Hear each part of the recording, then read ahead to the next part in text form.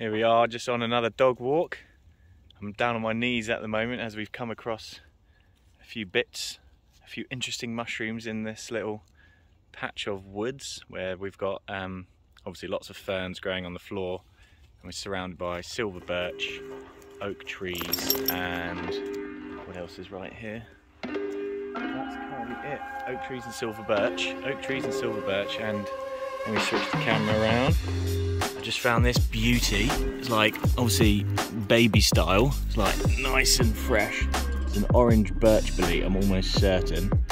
Uh, I'm not going to pick it because it's like the only one here, so let's give it give it a chance. But that would be a beauty to take and uh, put on the menu. But um, stick to the old foragers code and you know don't take too much. So we'll let that one go. But We've also seen the odd chanterelle around here, so Danni's just been wandering over here and I haven't seen these yet, but oh, look at these. Oh, chanterelle there. A few here, kind of small, probably a bit, bit better size, bit dried out over there as well. And uh, we've got a few more little baby stumps wanting to grow here. Look, you can see how sort of small they are. Here's what? Oh look, yeah, some very dark purple coloured, look like russulas. I'll leave those as well. And then of course we've got a few tawny grisettes growing around, there's loads of those. Oh, a few, another chanterelle there And here. Oh, and some good ones here, Danni says. Oh yes, look at that. There might. I know. I'm going to get there in a second. Look at that beauty. Through the fan, open the door. right under there. And Danni's whispering there's more around here. Oh, we might have found enough to potentially take a few. Little cheeky one there. Buddy, you are going to ruin this patch if you're not careful. And then look, some more little bullets. Round here, round here.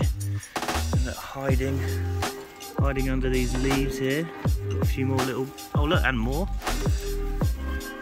And I'm sure there's, nope. And there's what, there's more over here. Just a few.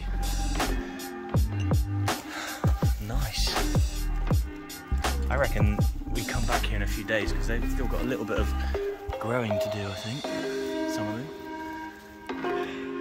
Super exciting, and I reckon if we kept on looking, we might find a few more as well. Yeah, Danni's pointing out a little red russula, and look at little bad boy.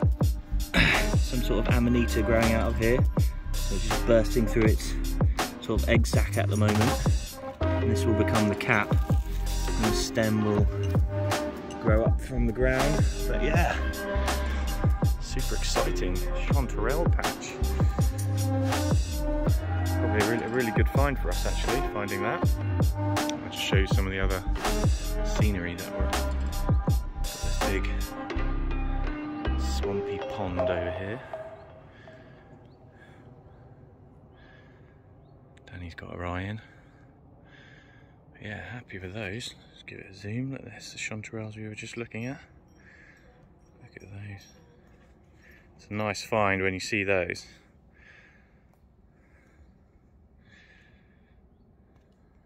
How do I zoom back in?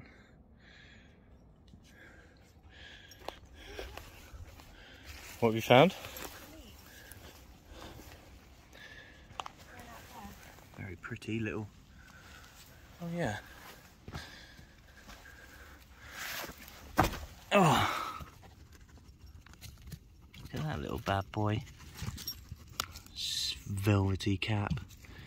Um, oh, I need to brush up on my boletes, but nice little bolete there. Not sure exactly what that is at the minute. Forgotten. Yeah, should we keep looking around here?